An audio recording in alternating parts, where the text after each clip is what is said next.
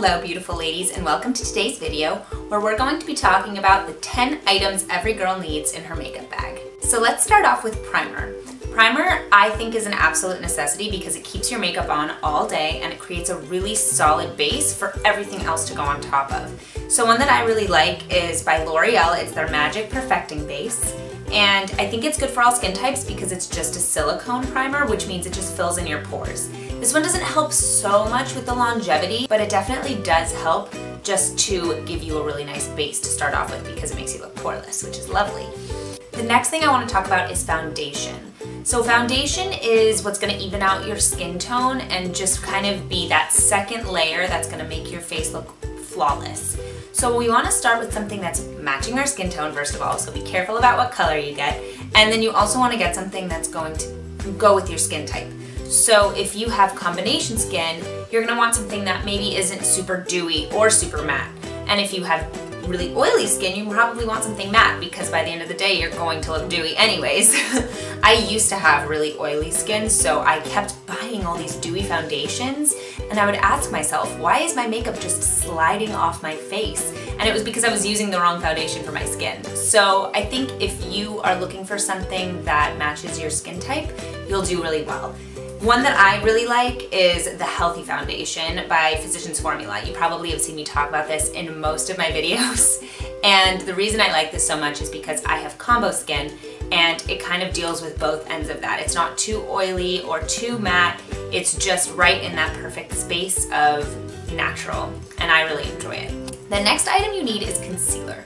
So concealer is what you use after you've gone in with foundation and it's there to cover up any blemishes or to hide your dark circles and you can use foundation alone, but if you have really bad under eye circles or let's say you have a lot of acne, which I struggle with, you might want a concealer in addition to foundation. I think that concealer is usually a good policy.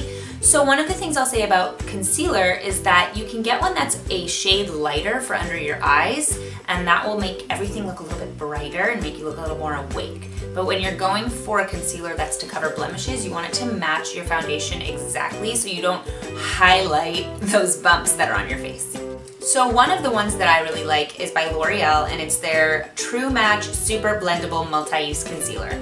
I find that this doesn't really crease on me, which is hard to find with a concealer, and it can cover up blemishes as well as work under the eyes. The fourth thing you're gonna want in your makeup bag is a powder. So you start with primer so that will give you a good base and then you put powder on top so it will help your makeup last all day. It kind of sets everything down. So there are a few different kinds you can get. You can get a pressed powder and that'll have a little bit more coverage or you can get a loose powder which will usually be more of a translucent powder and you can't really see it. It just helps with longevity. So one that I really like that's a loose powder is by Bare Minerals. It's their Mineral Veil Powder and I really like this because it kind of keeps my makeup in place all day, but you can't really tell I have powder on because sometimes if you use the wrong powder, you'll look very cakey and that's not what we're going for. So the next thing we're gonna talk about is bronzer. Bronzer I think is a really nice addition to your makeup bag because it brings a little bit of life to your skin when you're looking a little pale or just kind of gives you a little bit more definition under the cheekbones. You can use it as a contour and I think that that's a really nice thing to have in your makeup bag. So the one that I like is the one that I used in a video a couple weeks ago uh, by Wet n Wild. It's their Color Icon Bronzer and I've really been enjoying this. I think I'm actually wearing it today and I think it actually just brings a lot of color and life to the skin. The sixth thing I want to talk about is blush. So blush is going to go right on the apples of your cheeks and it's just going to make you look more awake, more alive, more fresh-faced and I think you can get something that works with your skin tone and that'll really just give you that little extra oomph on your skin. One that I really like is by NARS and it's a blush duo so it has a blush and a highlighter so that'll kind of give you a little extra something in your bag, that 11th item. but if you're just gonna get a blush, um, this is a really nice one. It's Orgasm by NARS and it's really pretty on the cheeks. It has this very natural pink flush.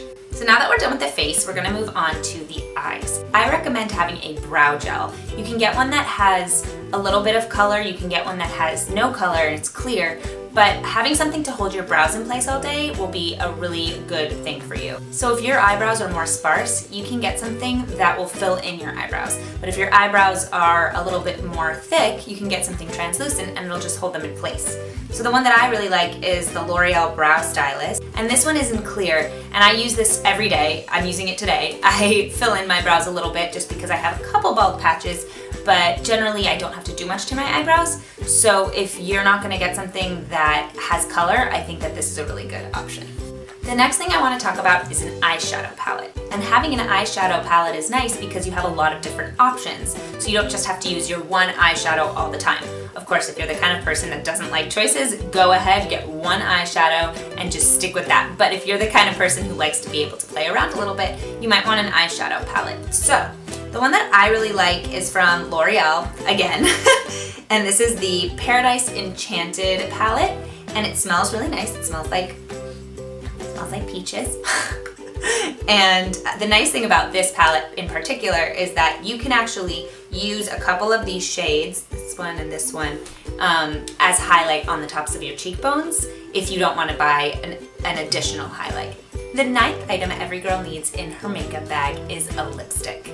Every girl kind of has a signature lipstick I think that they feel really good in and I think that that's a great thing to have in your makeup bag. So one lipstick that I really like is by MAC and it's in Velvet Teddy. This is a mini size and I just think it's a really nice natural nude that goes with any eye look which I love. Last but not least I want to talk about mascara. So mascara is a wonderful thing for makeup. It makes your eyes look so big with no effort. If you have no eyeshadow, no eyeliner, you should still put on mascara because your eyes will just look so much better. I sometimes think if I could only bring one makeup item to a desert island, what would I bring? It would be mascara. This is one of my favorites. This is the Voluminous Lash Paradise. Again, it's L'Oreal. It gives your lashes a lot of volume and I really enjoy it. So definitely get a mascara. So those are the top 10 things you should have in your basic makeup bag. I hope you guys enjoyed this video. Please let me know what's in your basic makeup bag. Like what do you take with you on vacation, for example? Or if you're going to spend a night at a friend's house, or if you are just